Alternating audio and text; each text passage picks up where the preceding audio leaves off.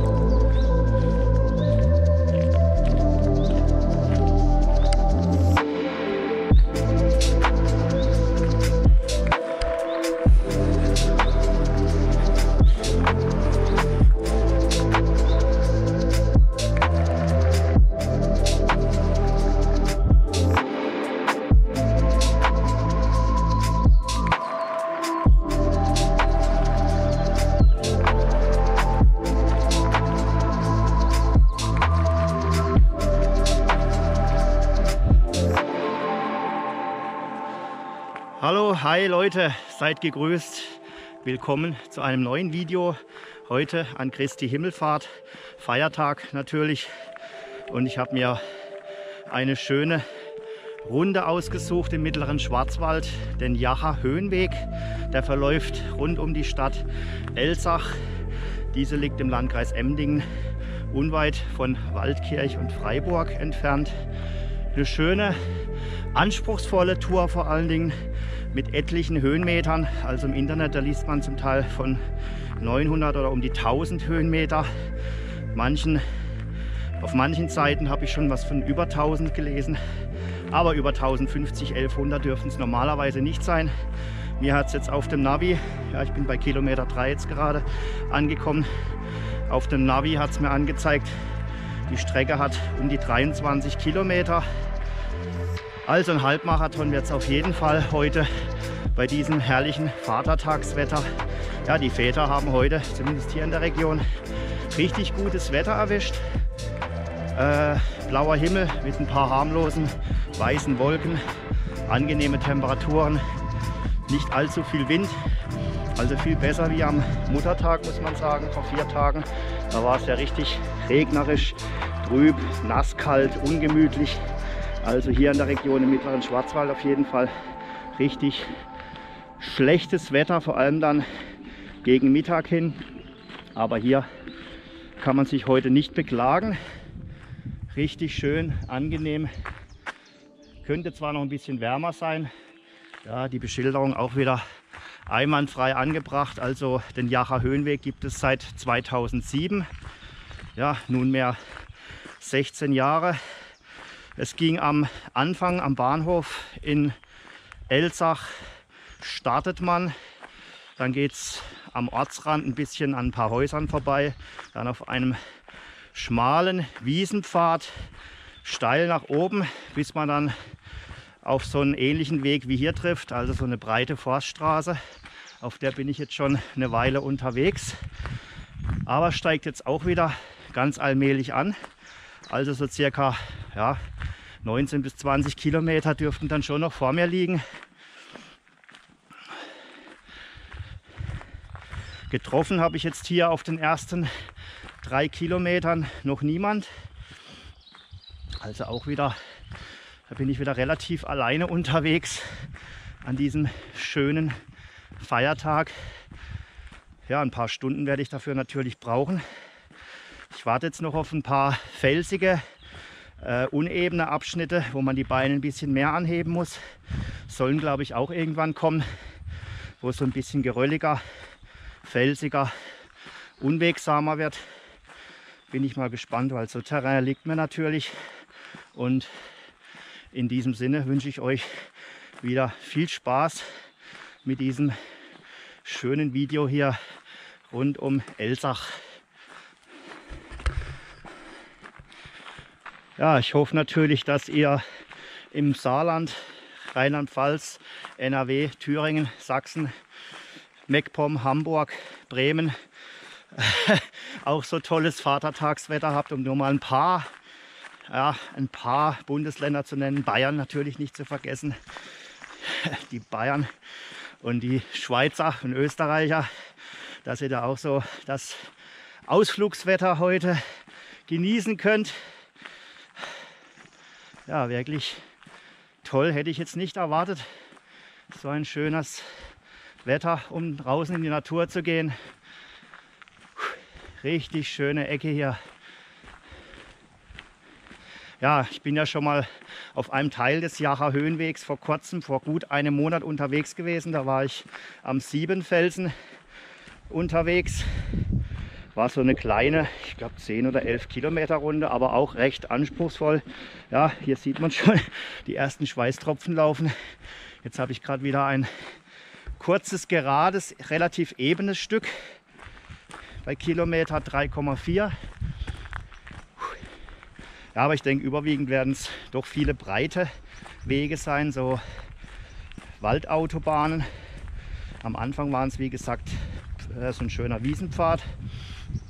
Mal überraschen lassen, wo mich diese knapp 23 Kilometer lange Runde überall vorbeiführt hier in einem riesigen Rundkurs. Und ich laufe die Strecke ja im Uhrzeigersinn. Wie ihr es hier sehen könnt, wunderbar am Baum markiert, der Jacher Höhenweg. Und ich bin dann auch noch gleichzeitig auf dem Hirtenweg parallel dazu unterwegs. Also steigt immer so ganz allmählich an. Ich habe jetzt schon gut 250 Höhenmeter. Das meiste steht mir ja noch bevor. Was rede ich denn? Ich bin jetzt schon auf knapp 670 Metern Höhe. Der Bahnhof Elsach liegt auf 360, also schon ja, 310 Höhenmeter gebuckelt. Man merkt also, dass man immer mehr an Höhe gewinnt, aber immer so peu à peu, nicht so extrem der Anstieg, immer gleichmäßig. Also auf 700 Höhenmetern bin ich dann gleich.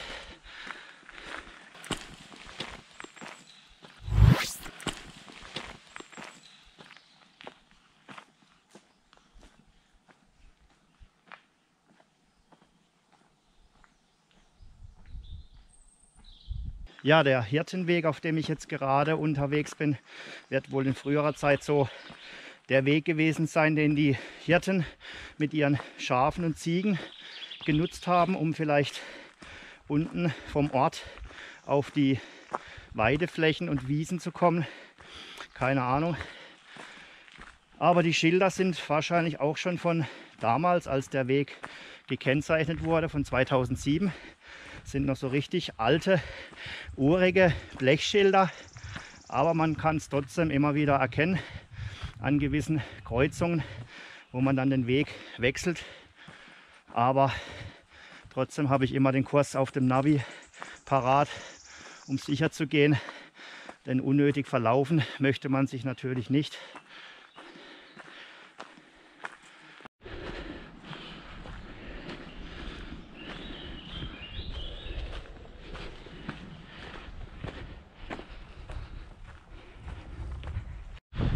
Ja, der Wind frischt jetzt deutlich mehr auf, hat an Fahrt zugenommen und hier gibt es jetzt den ersten kräftigeren Anstieg, etwa bei 4,5 Kilometern, die ich jetzt absolviert habe. Also das geht hier ordentlich kernig nach oben, ganz anders als zuvor.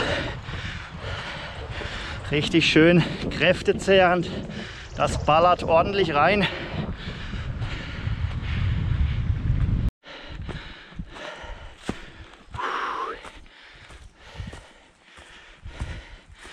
Beißen, beißen.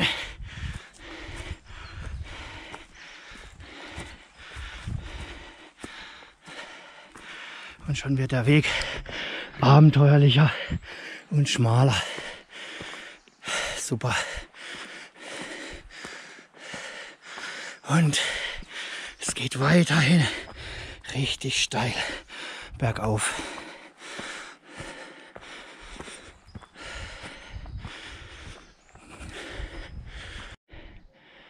Ja, die letzten 100, 200 Meter ging es jetzt immer in Serpentinen steil bergauf. Da durfte ich jetzt noch über so eine Baumleiche steigen. Also immer im Zickzack heftig nach oben. Da macht man natürlich gut Höhenmeter. Und aktuell befinde ich mich jetzt in einer Höhe von 820 Metern bereits.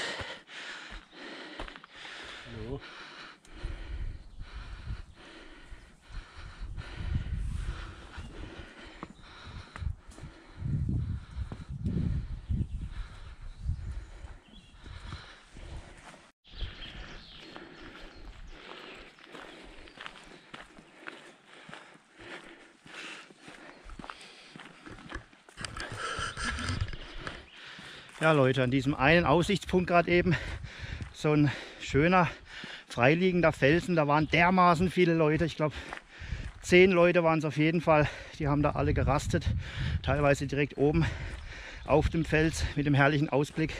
Ich weiß nicht, ob man es mitbekommen konnte, aber da waren schon diverse Stimmen im Hintergrund.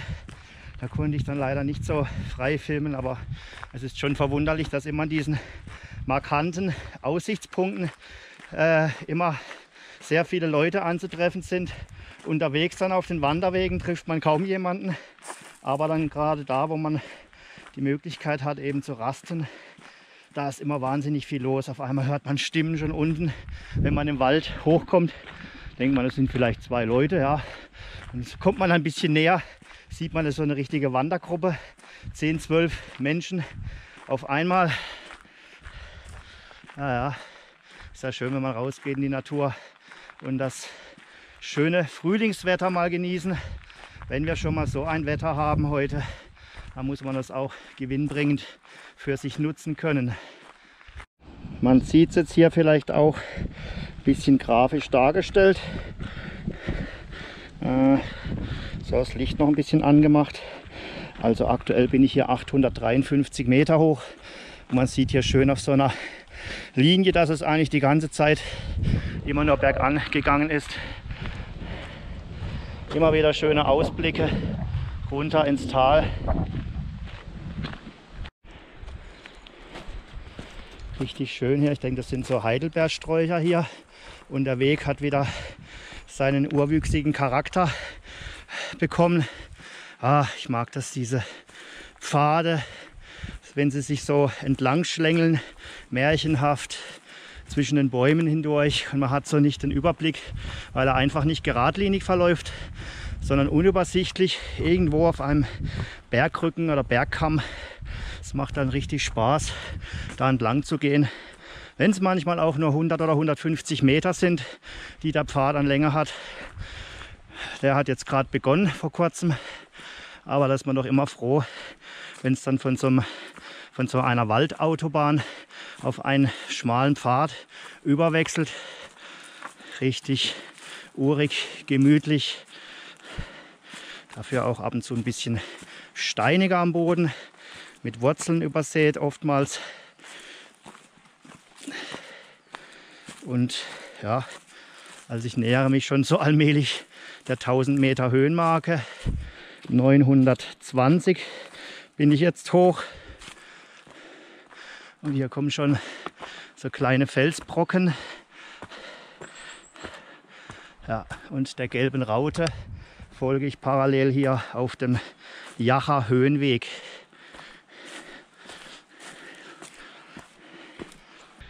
Ich befinde mich jetzt kurz hinter Kilometer 6 und ich muss euch ehrlich sagen, ich bin dieses Mal froh, deutlich mehr Trinken, Wasser dabei zu haben als vor ein paar Wochen, wo ich zwar auf einer kürzeren Strecke unterwegs war, ich aber richtig arg ins Schwitzen gekommen bin und hatte da das Trinken komplett vergessen zu Hause.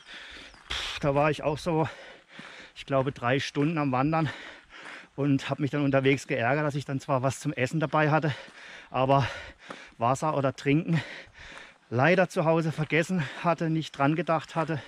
Und da hatte ich richtig trockenen Mund und dieses Durstgefühl sehr, sehr unangenehm. Zum Glück war die Runde da nicht so lang. Heute habe ich zwei Liter Mineralwasser dabei, so ein bisschen leicht perlend. Und da bin ich echt Gottlob froh dran. Ich habe zwar davon jetzt noch nichts anrühren müssen, aber so allmählich sollte ich dann doch mal ein bisschen was trinken.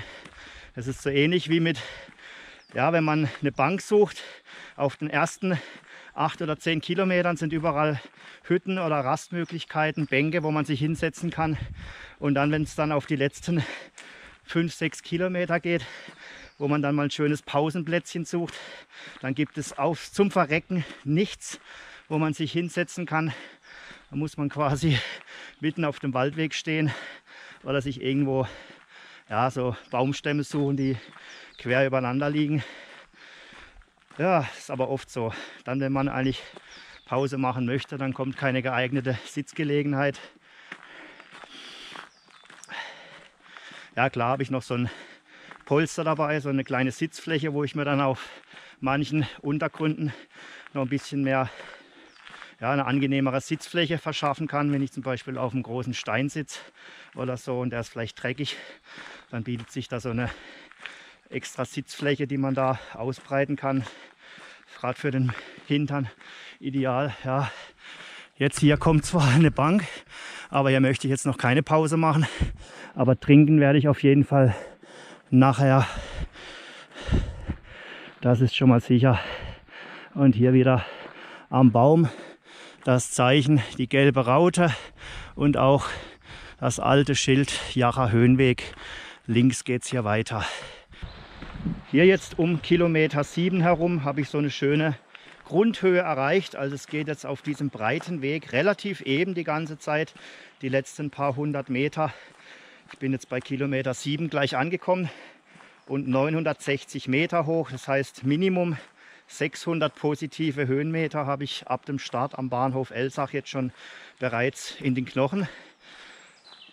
Also das finde ich schon gut, dass man da die, das Gros der Höhenmeter gleich zu Beginn sammelt.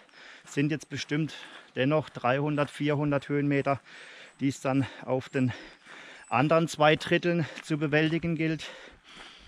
Aber ich bin guter Dinge. Ich bin richtig gut bei Kräften heute und gut unterwegs. Läuft richtig ordentlich. Ich muss mal schauen, was die Uhr zeigt. Moment. Ja, wir haben es jetzt dreiviertel eins und ich bin jetzt 7,05 Kilometer in einer Stunde 39 gewandert. Wohlgemerkt das meiste immer nur bergauf.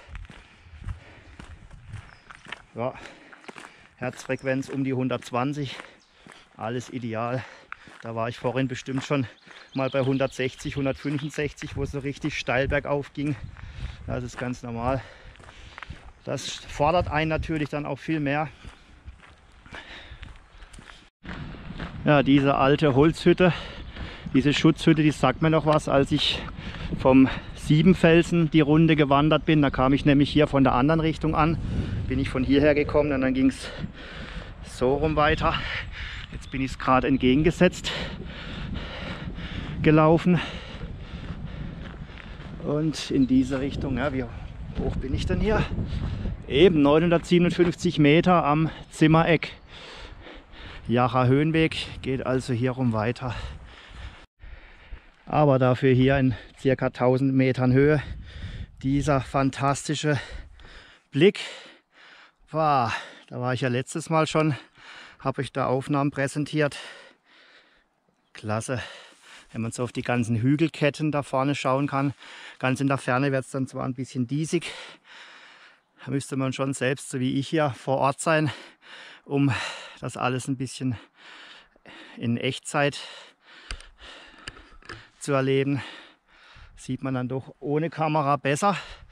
Aber wirklich lohnenswert hier, diese Aussicht. Es geht immer noch ganz allmählich nach oben. Aber ich denke so, demnächst müsste ich eigentlich schon die höchste Stelle vom Jacher Höhenweg erreicht haben. Denke mal, das müsste knapp über 1000 Meter Höhe sein. Ich habe jetzt nicht geschaut, aber ich vermute doch, weil ich das jetzt schon so habe. Und Großteil der Höhenmeter habe ich eben ja auch schon gesammelt. Und ich stehe noch nicht ganz bei Kilometer 8, aber bin kurz davor. Ja, die Sonne scheint immer wieder mal durch. Sonne und Wolken im Mix. Was will man mehr? Hier seht ihr es. 1002 Meter bin ich hier hoch.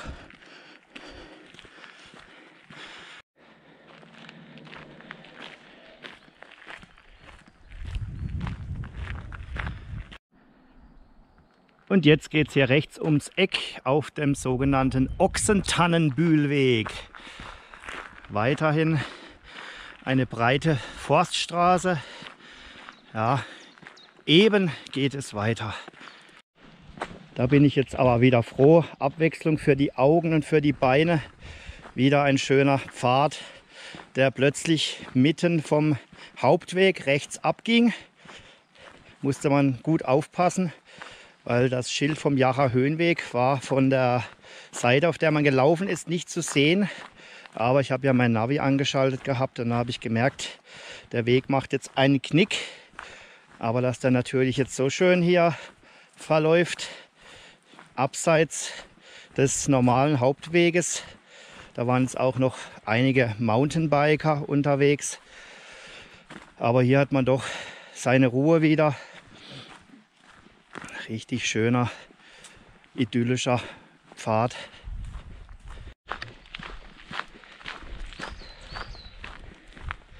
Ja, an den Weg bin ich letztes Mal auf dem Rückweg vom Siebenfelsen auch hier gegangen.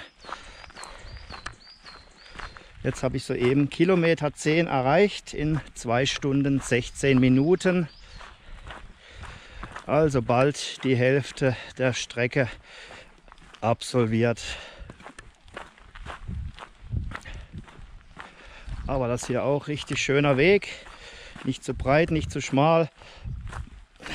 Ein paar Steinchen im Weg. Aber prima zu gehen.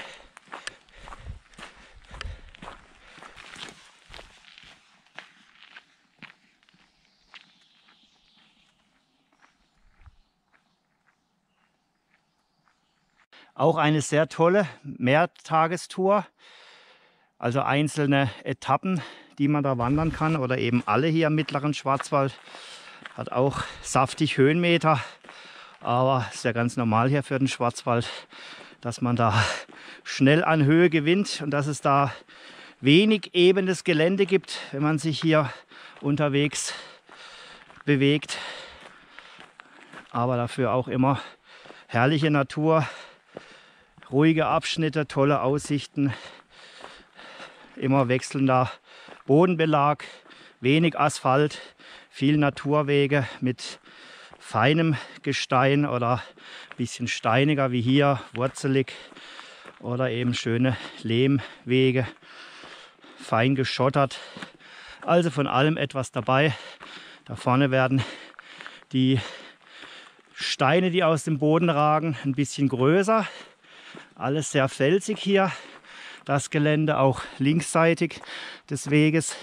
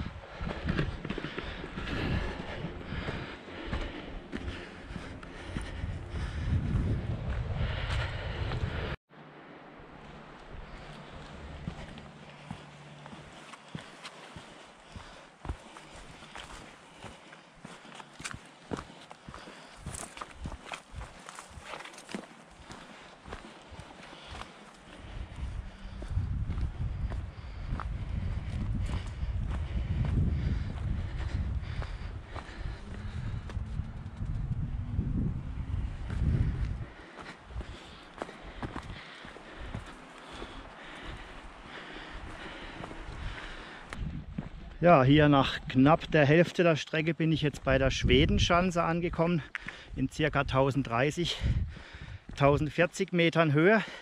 Hier trifft man jetzt auf mehr Ausflügler und Wanderer. Also das sind mir schon zahlreiche begegnet hier auf dieser Asphaltpassage. Das Wetter hat sich ein bisschen mehr bewölkt, aber ich glaube, hier war ich zuvor auch noch nicht. Ja, es gibt immer noch Stellen und Flecken im Schwarzwald, die ich noch nicht besucht habe. Aber da kommt man eben auf so diversen Touren vorbei. Immer wieder schön. Da vorne gibt es noch so eine schöne alte, urige Kapelle. Ganz klein, fällt kaum auf. Neben diesen alten Schwarzwaldhäusern hier. Aber die schmiegen sich ja prima ein in die Natur zwischen diesen Wiesen. Vorne kommt ein Radfahrer runtergedüst, ne? es sind sogar zwei. Da ist richtig was los hier auf diesem Weg. Ein schöner Rundumblick hier. Da muss ich auch schon bald den Akku wechseln, denn so langsam geht er zur Neige.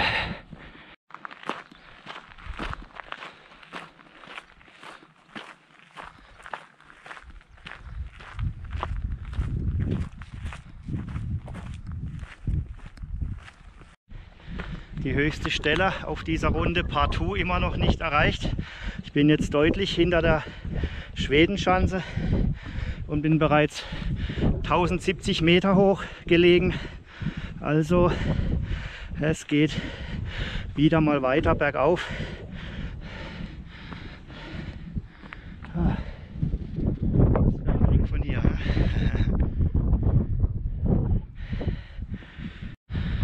Absolut faszinierend hier, dieser Ausblick oberhalb der Schwedenschanze. Also, dass ich hier zuvor noch nicht unterwegs war, könnte mich ja fast ärgern. Was für ein Weitblick von hier oben. Wenn man hier vielleicht nur ja, so circa 50 Meter höher ist, wie unten, da wo die zwei Häuser sind. Wahnsinn. Richtig toll hier. Wenn es auch ein bisschen luftig ist und windig, aber es ist gerade angenehm so für mich. Klasse Panorama. Immer wieder kommt die Sonne durch.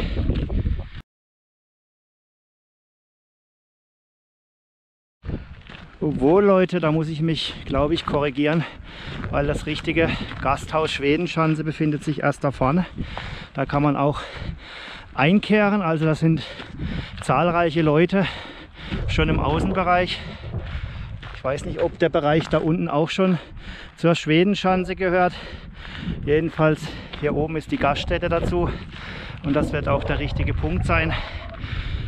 Mal schauen, ob ich da jetzt direkt dran vorbeikomme. Ich müsste mal schauen. Aber nee, ich glaube, es geht hier auf den normalen Sandweg weiter. Aber ihr wisst Bescheid, wenn ihr mal hierher kommen wollt.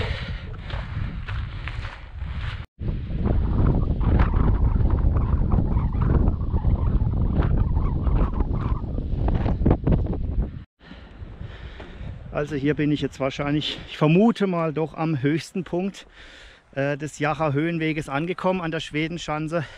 Hinter mir an der Wegkreuzung stand dran, ich bin 1130 Meter hoch und am Bahnhof in Elsach waren es lediglich 360.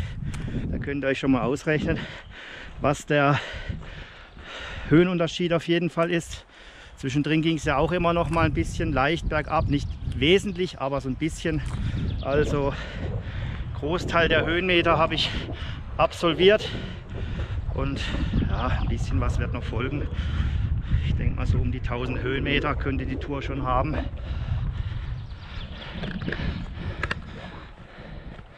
und vor mir so ein schönes Windrad. Ja, also da trifft man wirklich sehr, sehr viele Leute hier in dem Bereich um die Schwedenschanze herum. Natürlich, da wo es was zu essen gibt, ist immer viel los. Da standen auch ein paar Autos. Ich weiß aber nicht, ob es da offiziell ist, hochzufahren. Keine Ahnung. Oder ob das nur für die Leute sind, die da arbeiten. Das kann ich euch nicht sagen, weil ich direkt hier in diesem Bereich vorher noch nicht unterwegs war. Aber viele Wanderer sind hier richtig warm angezogen. Klar, es bläst hier ein bisschen kühle Luft. Äh, die haben sich zum Teil noch eine zweite Jacke drüber gezogen. Ich laufe hier im T-Shirt rum. Aber ich muss sagen, für mich ist es richtig angenehm. Dadurch, dass ich jetzt auf den ganzen 13 Kilometern noch gar keine Pause gemacht habe, in diesen nicht ganz drei Stunden. Also ich war immer in Bewegung und wahrscheinlich ziehe ich das durch. Ich habe nur mal kurz was getrunken, ein paar Schluck Wasser. Aber Appetit oder Hunger habe ich jetzt noch gar nicht. Das kommt dann meistens immer nach so einer mehrstündigen Wanderung, wenn ich dann zu Hause angekommen bin. Für mich eigentlich jetzt ganz okay. Also wenn ich jetzt noch so, wie lange werde ich noch brauchen? 13 Kilometer habe ich. Ja, auf jeden Fall schon noch zweieinhalb Stunden, denke ich, schon noch reine Gehzeit. Und ich weiß nicht, ob ich da jetzt noch irgendwo eine Pause mache. Allzu lange wird sie nicht sein. Aber trinken werde ich auf jeden Fall wieder. Das ist schon wichtig. Ich habe ja dieses Mal auch genug dabei mit meinen zwei Litern Wasser. Ja, hier bin ich jetzt am Rohrharzberg angekommen, Breitbühl. Ja, das Schild steht auch schon sehr schräg hier. Aber ich vermute mal, es geht hier geradeaus weiter auf diesem schmalen Pfad. Ja, so zeigt es mir eigentlich auch hier an auf dem Navi. Also immer noch in einer ordentlichen Höhe unterwegs.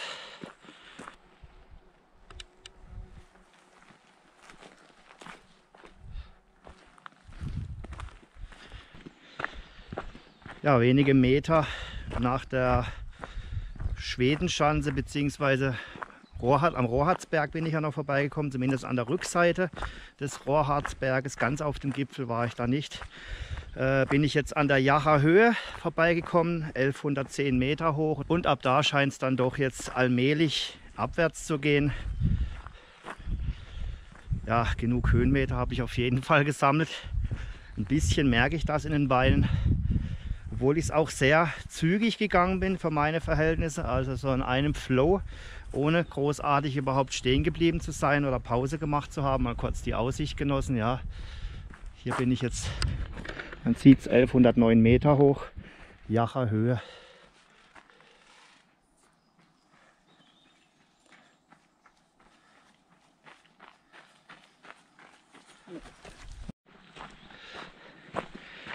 Ja, die Tour hat für mich jetzt schon aktuell fast 900 positive Höhenmeter, die ich bisher absolviert habe. Die Strecke Jacher Höhenweg wird zudem als schwierig eingestuft, wenn man so in den Foren liest, äh, auf der Tourenbeschreibung. Also alles andere als einfach. Klar ist es für einen, der vielleicht 2.000 bis 3.000 Höhenmeter schon mal an einem Tag gewandert ist, was wirklich sehr, sehr extrem ist. Also alles, was so über 1500 Höhenmeter am Tag ist, äh, was man da bewältigt, ist schon enorm. Da nimmt man schon ganz schöne Strapazen auf sich, mehr oder weniger. Kommt natürlich auch immer auf den Bodenbelag an. Äh, der wird natürlich lachen über so eine, so eine Höhendifferenz von vielleicht 1000 Höhenmetern, was man da macht. Und dann kommt es ja auch immer darauf an, auf welcher Streckenlänge man eine gewisse Höhendifferenz äh, bewältigt. Wenn das natürlich schon auf 10 Kilometer sind, wo man 1300 Höhenmeter oder 1400 Höhenmeter bewältigt, ist das nochmal eine andere Hausnummer wie jetzt hier auf vielleicht 22, 23 Kilometer, die man absolviert. Aber dennoch muss man es natürlich erstmal laufen und gehen. Und von daher so ganz easy ist die Strecke nicht und manche haben vielleicht schon mit der Streckenlänge Probleme, was dann mehr als 18 oder 20 Kilometer hat. Und dann hier jetzt dieser spezielle Bodenbelag, wo es doch relativ steinig ist beim Bergabgehen jetzt wieder. Also man merkt doch schon, es sind einige Leute hier im Bereich der Jacher Höhe, Rohrharzberg, Schwedenschanze unterwegs gewesen. Da tummeln sich doch einige Ausflügler hier in dieser Ecke, was ja auch schön ist. Aber dennoch bin ich immer froh, wenn ich hier allein auf weiter Flur meine Ruhe habe und bin jetzt auch schon deutlich auf dem Rückweg. Das ist ein riesengroßer Rundkurs. Mal schauen, wie viele Kilometer am Ende bei mir rauskommen. Aber ich bin richtig fit noch. Genug Körner habe ich auf jeden Fall. Wenn es jetzt noch mal irgendwo einen Gegenanstieg gibt, habe ich keine Probleme damit. Aber auch gleich hier wieder kommt man ein bisschen am Waldrand vorbei. Eine schöne begrünte Fläche hier. Gefällt mir richtig gut. Dann dieser Weg noch davor. Ab und zu immer wieder doch mal eine Sitzgelegenheit, so wie hier. Und der Blick ganz vor ins Tal rüber auf die andere Bergkulisse.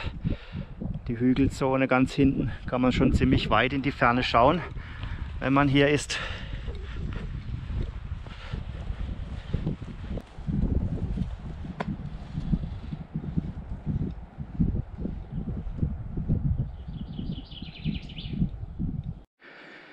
Ja, und auch jetzt kurz nach diesem schönen Aussichtspunkt, den ich gerade eben hatte, gibt es doch noch mal einen kleinen kurzen Anstieg. Also ich denke, die 1000 Höhenmeter, die werde ich heute garantiert erreichen. Summa summarum, also insgesamt für die gesamte Strecke. Da liege ich gut im Rennen. Also wer denkt, nach der Jacher Höhe geht es immer nur abwärts Richtung Elsach ins Tal, der irrt sich. Also es gibt dann doch noch mal einen länger gezogenen Anstieg. Aber darauf war ich ja gefasst. Mir macht es ja nichts aus. Ich laufe die Strecke ja so wie sie gekennzeichnet ist im Original, ohne abzukürzen. Boah, ja, Jetzt gerade Kilometer 15 absolviert. Es läuft prima. 956 Höhenmeter insgesamt habe ich jetzt schon. Also ich kratze an der 1000 Meter Höhenmarke, die ich dann heute bis unten im Ziel habe, wenn ich dann wieder am Bahnhof Elsach angekommen bin. Und der ist relativ geräumig, dieser Parkplatz dort. Kostenlose Parkplätze stehen da in Genüge zur Verfügung. Und immer noch bin ich hier auf dem Zweitälersteig unterwegs. Zu erkennen an dem stilisierten roten Herzrahmen auf grünem Grund. Ja. Und das Wetter hält weiterhin.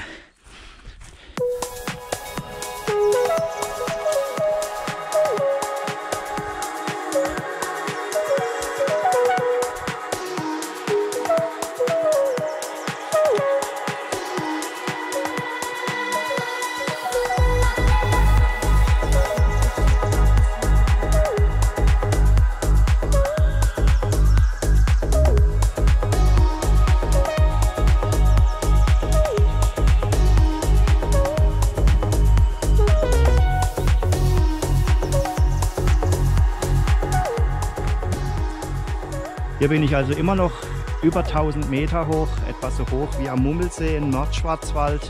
1030 Meter genau an der Dorabühlhütte. Ja, ich komme einfach nicht runter von der Höhenlage hier. Es geht weiterhin auf dem Zweitälersteig parallel zu meiner Runde, der Jara Höhenrunde oder Höhentour.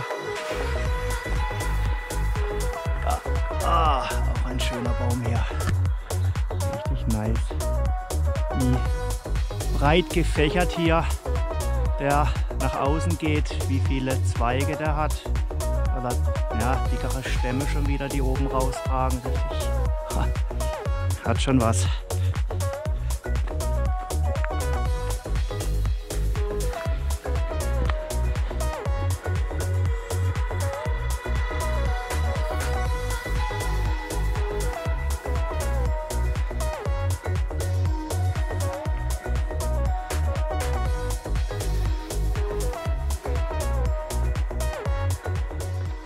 Gerade eben bin ich hier am Startplatz für Gleitschirm und Drachenflieger am Tafelbühl vorbeigekommen. Die Aussicht habt ihr ja sicherlich gesehen, gerade eben. Und da vorne gibt es den nächsten Weitblick. Also hier gibt es doch immer wieder mal ein paar kleine Highlights. Wenn es dann auf den Rückweg geht Richtung Elsach.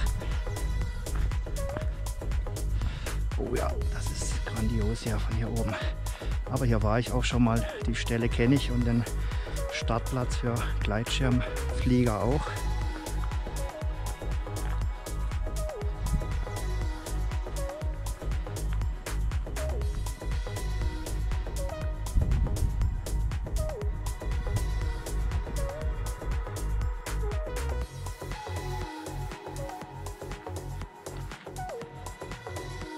Glaube, da drüben, das müsste der Hörnleberg sein mit seiner schönen großen Kapelle. Richtig toller Aussichtsberg. Da war ich auch schon mal in einer meiner früheren Touren. Oberhalb von Simonswald gelegen. Ja, das ist doch ein Panorama hier von dieser Holzbank aus gesehen. Runter ins Elstal. Und jetzt bin ich ja schon eine Weile auf der blauen Raute unterwegs. 1000 Höhenmeter auf jeden Fall, die habe ich schon absolviert, die ich nach oben gewandert bin. Ich war jetzt gerade an der Markierung unter dem Tafelbühl und war da immer noch 968 Meter hoch. Also wenn ich mir das überlege, ich darf jetzt noch 600 Höhenmeter bergab wandern. Boah, immer bremsen, bremsen. Ja, wenn es nicht immer so steil bergab geht, geht's. Aber manchmal gibt es so richtig extrem steile, geröllige Abwärtspassagen. Die läuft man dann lieber hoch, weil abwärts, da kann man dann doch mal schnell ins Rutschen kommen. Ich meine, ich bin ja jegliches Terrain gewohnt, äh, abgesehen von Schnee auch. Aber man muss dann natürlich schon mehr Obacht geben, wenn es dann so 16 bis 18, 20 Prozent Gefälle hat und man ist in so einer gerölligen äh, Lage unterwegs, wo der Weg halt wirklich extrem geschottert ist. Hier geht es jetzt wieder. Ja, wenn man also peu à peu an Höhe verliert, geht's. Aber wie gesagt, ich laufe dann doch lieber Steilpassagen bergauf. Wie immer noch bremsen, bremsen. Oder bin auch mal froh über ein paar Ebene, flache Abschnitte zwischendurch. Ja, so wie hier jetzt. Aber ich habe halt immer noch mehr als 900 Meter auf der Höhe. Schöner frischer Wind hier. Aber dieses saftige Grün der Blätter, das Hellgrün, das hat schon was. Ein schöner Blickfang hier im Wald. Und da vorne kommt schon der nächste Wegweiser. Ja, also auf der Uhr habe ich jetzt schon 17,6 Kilometer. Richtung Jach wären es noch 4,5. Ja, da gibt es auch die Hörnleburg-Tour. Ja, immer noch 965 Meter hoch.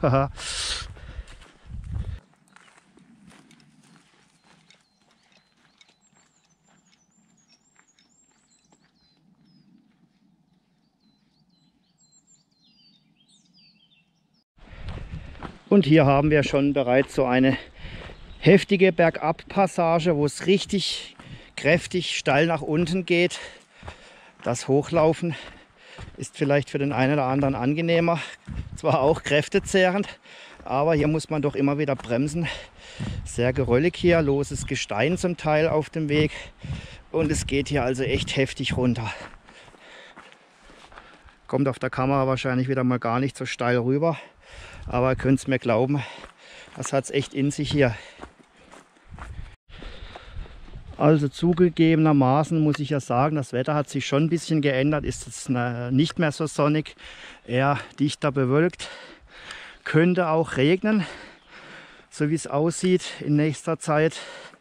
Also eher drüber jetzt, aber zumindest in den ersten paar Stunden, auf den ersten paar Kilometern hatte ich ja richtig freundliches, warmes, ja, zu warm war es nicht, aber zumindest war die Sonne ziemlich präsent, richtig schönes Wetter. Aber zumindest gab es bis jetzt noch keinen Tropfen Regen hier auf meiner Tour. 19 Kilometer absolviert in 4 Stunden 16 Minuten aktuell.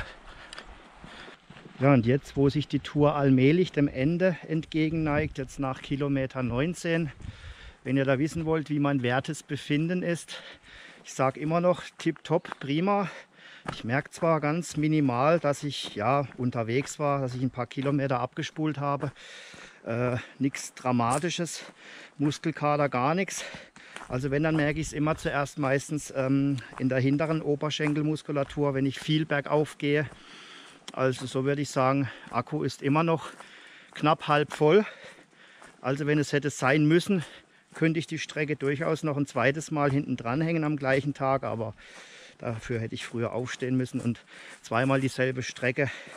Das ist dann im Kopf hat man dann schon so viele Bilder. Man weiß, wo man überall vorbeikommt. Äh, dann läuft man lieber was Neues. Aber es hat, hat schon gereicht, ja. Also ich sag mal, für jemand, der untrainiert ist, ähm, dann würde ich so eine Strecke für den Anfang als erste Wanderung schon mal gar nicht empfehlen, weil es einfach viel zu steil ist von den Höhenmetern. Das summiert sich dann natürlich schon auf so einer Streckenlänge von wahrscheinlich 22, 23 Kilometern, was ich am Ende dann habe. Von daher lieber ein bisschen mit flacherem Gelände anfangen und nicht so lang in der Streckenführung. Vielleicht mal nur so zwei Stunden wandern oder so. Meistens ist ja auch reizvoll, wenn man dann ein paar schöne Motive hat unterwegs. Man läuft um einen See oder hat herrliche Ausblicke ja, an irgendeinem schönen Fluss, Bach entlang, wo schön plätschert.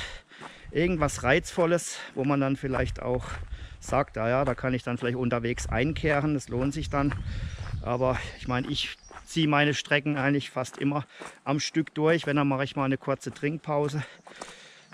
Klar, wenn es natürlich noch wärmer ist, muss man häufiger trinken. Dann reichen die zwei Liter auch nicht für so eine Strecke von 22, 23 Kilometern mit so viel Höhenmeter.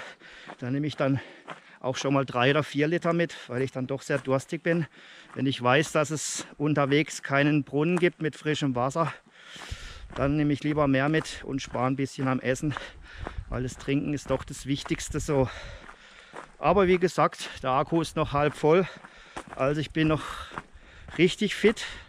Gehe noch lange nicht auf dem Zahnfleisch und selbst wenn man das mal irgendwann hat, man kann dann immer noch weiter wandern. Das ist alles nur eine Kopfsache, spielt sich alles nur hier oben ab. Muskulaturen so, Sehnen, Bänder, Gelenke, ja, die werden strapaziert, klar. Man läuft sich vielleicht dann auch mal bei längeren Strecken eine Blase. Aber das ist alles im Kopf, so ein Schalter, den man umlegt. Und dann beißt man eben noch die letzten paar Kilometer durch. Und man weiß dann, äh, man hat es geschafft, fühlt sich dann umso glücklicher, wenn man die ganze Strecke absolviert hat aus eigener Kraft. Und dann ist es auch schon so wie so ein Endorphinrausch, wie beim Marathonläufer, wenn der dann ins Ziel kommt. Man hat es geschafft. Man ist zufrieden und glücklich, wenn auch erschöpft.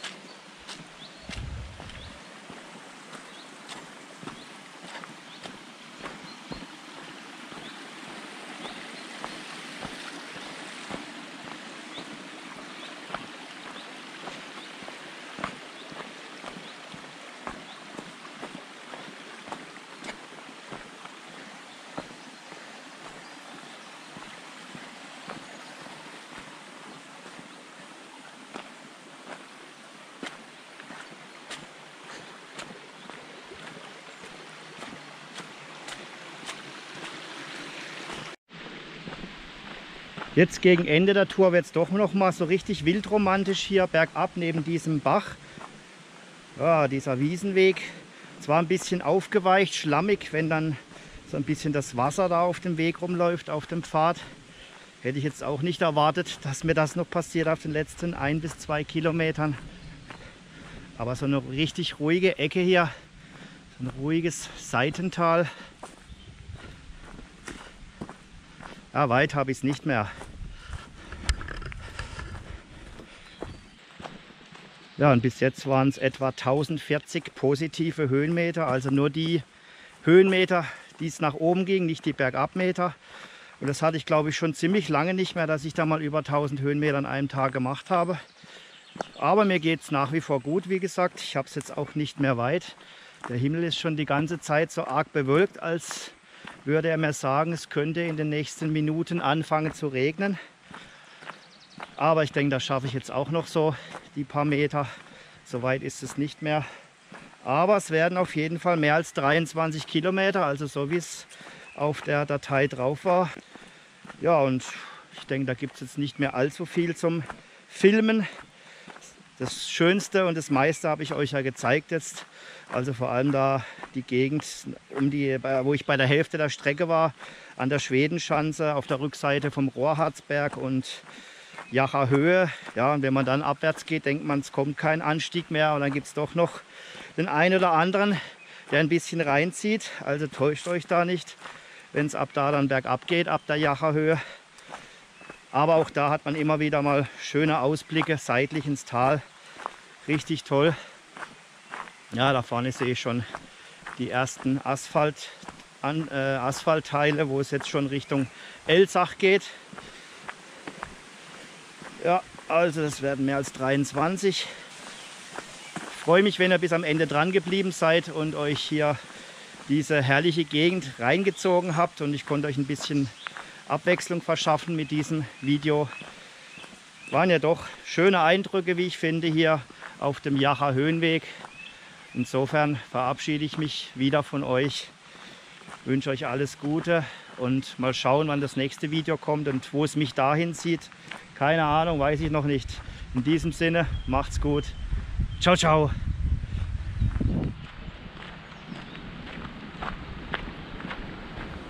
und wieder draußen aus dem Wald.